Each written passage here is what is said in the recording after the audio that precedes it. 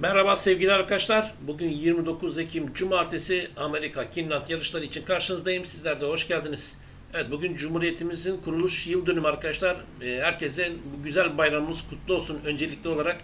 Ee, gerçekten ne kadar e, gurur duysak azdır. Bugünün gerçekten e, tarihsel olarak da bana göre dünyada dünyada diyorum çünkü gerçekten dünyada bile takdir edilen bir e, lidere sahiptik.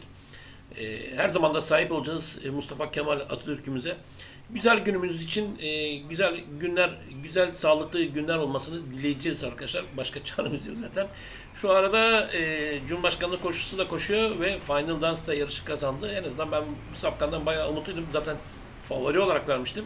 Ama AGF'ler bir nolu safkandan bayağı yüksek ama haklılar tabii ki. E, çünkü biraz ibreler sanki onu gösterirdi ama ben her şeye rağmen 7'yi tutuyordum. Gazi yaramadı ama Gazi'den sonraki yarışlar farklılaştı en azından Final için. Neyse konumuz o değil. Bugün Amerika yarışlarımız var.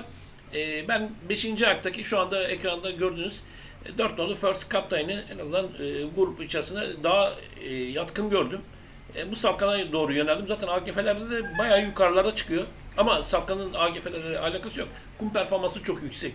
Bu safkanın bayağı kumda güzel yarışları var ve koşmuş olduğu gruplar da e, bu grubu geçmeye çok yakın. Yani kesin bir şey değil ama kazanmaya çok yakın. En azından böyle bir şablon çıkardım ben de sizlere.